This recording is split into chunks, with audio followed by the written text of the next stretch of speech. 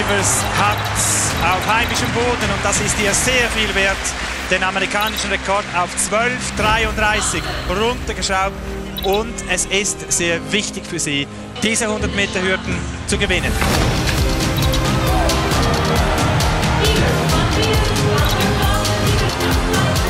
Divers vorne, ganz klar. Aloisi holt jetzt ein bisschen auf, aber klarer Sieg für Divers. Siegerzeit 12,39, nur 600 Sekunden hinter ihrem amerikanischen Rekord und die schnellste Zeit hier im letzten Grund, die je auf der 100 Meter Hürdenstrecke der Frauen gelaufen wurde.